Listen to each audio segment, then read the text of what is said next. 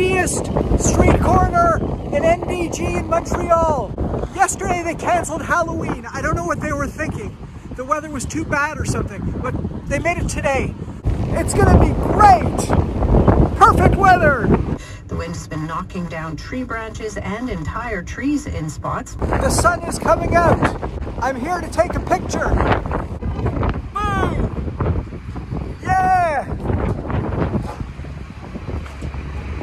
I said I was coming to take a picture. Okay, here we go. Hang on. Oh, this is not going to work. I think I got it. Oh my god, I think I literally just got frostbite. Happy Halloween 2.0 from NDG.